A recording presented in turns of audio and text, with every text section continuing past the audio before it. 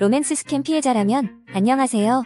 여러분, 법무법인 대건 핀테크 전담센터 대표 한상준 변호사입니다. 로맨스 스캠은 로맨스와 신용 사기를 뜻하는 스캠의 합성어로 소셜 네트워크 서비스 등을 통해 이성에게 접근한 후 연인 행세를 하며 돈을 갈취하는 신종 사기 범죄로 분류됩니다. 다른 용어로는 인터넷상으로 연인 행세를 한다는 의미로 랜선애인 사기라는 호칭으로 불리기도 하는데요.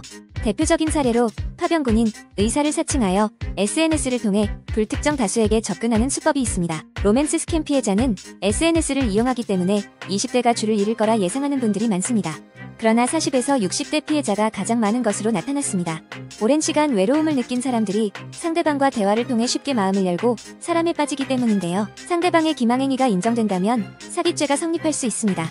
또한 금전 요구하는 사람과 계좌 주인들까지 모두 전자금융거래법 위반 혹은 사기죄의 방조범이 인정될 가능성이 높습니다. 따라서 주동자들 뿐 아니라 계좌 주인도 함께 고소하는 것이 필요합니다. 대한민국에서 로맨스 스캠 범죄를 저지른 내국인, 외국인 모두 사기죄로 처벌할 수 있습니다.